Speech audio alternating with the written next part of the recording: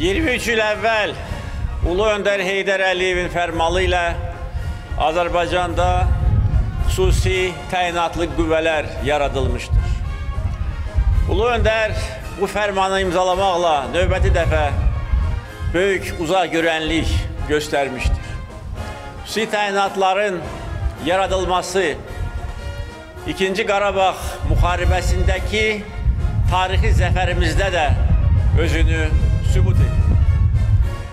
99-cu ildə vəziyyət fərqli idi. Ermənistan-Azərbaycan Dağlıq Qarabağ münaqişəsinin sülh yolu ilə həll olunması üçün hələ də ümidlər tükənməmişdi.